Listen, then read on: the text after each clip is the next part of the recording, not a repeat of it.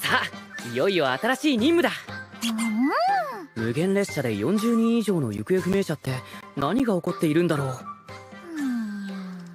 禰豆子何があってもやり遂げよう。うんうんさあそろそろ行くぞ。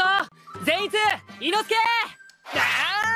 その前にもう一回すごろくやろうよ。ねっこちゃんも一緒に。なあ炭治郎。ここで大正こそこそ噂話善逸は蝶屋敷の訓練の合間にみんなでやったすごろくがとっても楽しかったようで断るごとにすごろくをやりたがるんですよ。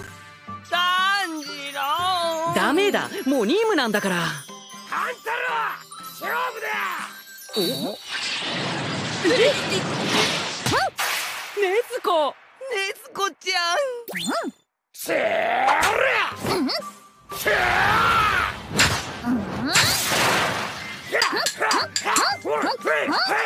伊之助は羽子板が気に入ったみたいですみんなすごろくやろうよいやいやいや任務だ善逸ほら二人も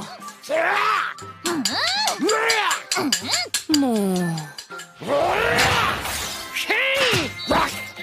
みんなそろそろ任務に向かうぞうんわかったよ行けばいいんだろ行けば次は勝つ最後に俺たちのこれからの任務をみんなに見てもらってお別れだ。